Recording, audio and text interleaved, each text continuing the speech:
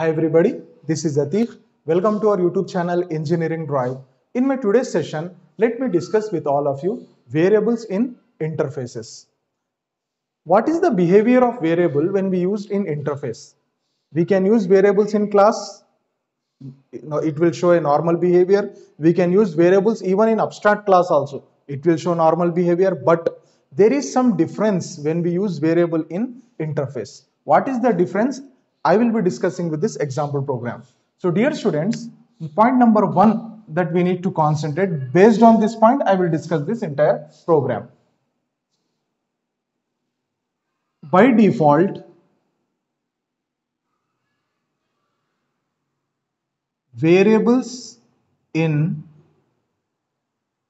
variables in interfaces or variables in interface are static and final. This is very very important point.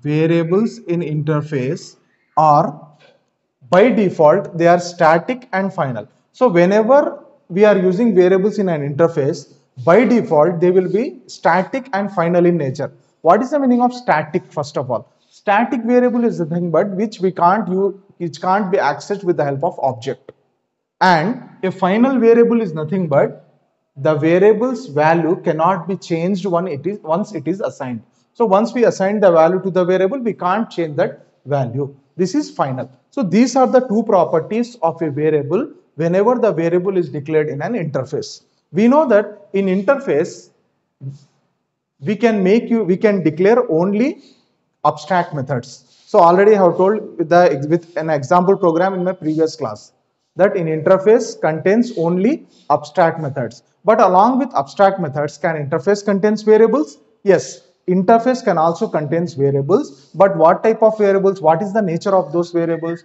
The nature of those variables will be they will be by default static which means they cannot be accessed by the, with the help of objects. And the variables will be final which means their value cannot be changed in the program. Now I will show you this quality of what is the meaning of final now with this example program. So dear students this is an interface and what is the name of the interface I have taken marks. Now in this interface I want to declare three variables now. So of int data type int first variable int internal for internal marks and I will assign the value 30. Next int external is equal to 70 assignment operator 70 next int total is equal to 100 marks 100 now you can see here I have not declared any abstract methods in this interface because how to use methods already I have told in my previous class. You can go ahead and watch that. This is only I will show you the use of variables, nature of variables in interfaces now. So these are the three variables. All these variables I have declared in this interface. Which interface? Marks.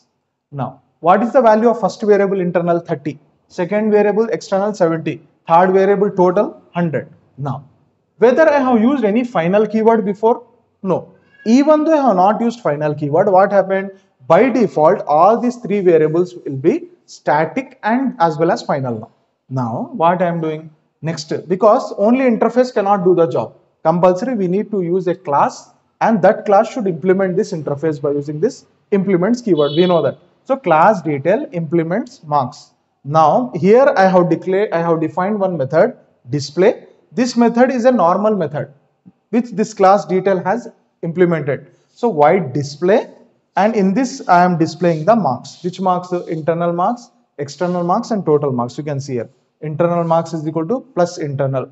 External marks is equal to plus external. Total marks is equal to plus total by using this variables. Three variables I want to display this marks. Internal marks, external marks, total marks.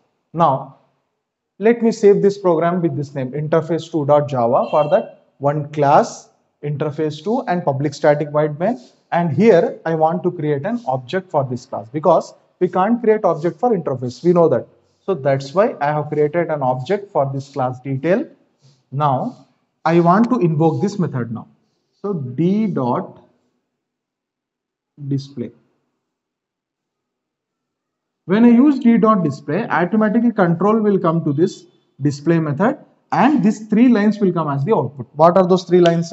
Internal marks is equal to plus internal. What's the value of internal? 30. Internal marks is equal to 30. External marks is equal to 70. Total marks is equal to 100. Clear? No error. There is no problem.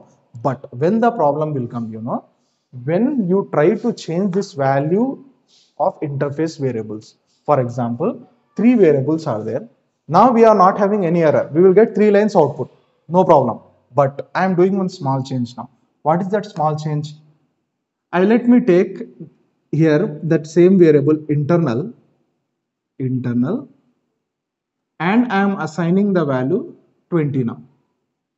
Only one change I have done in the program. This internal variable already value is assigned 30, but I want to change the value. I want to reassign, reassign the value now to the internal variable. What is the new value assigned? 20. Now in these circumstances, when we run and when we compile and execute our Java program, immediately we will get the error. What error? Final variable cannot be reassigned or final variable cannot be changed. The value of a final variable cannot be changed. Sir, we have not declared the variable as final, no?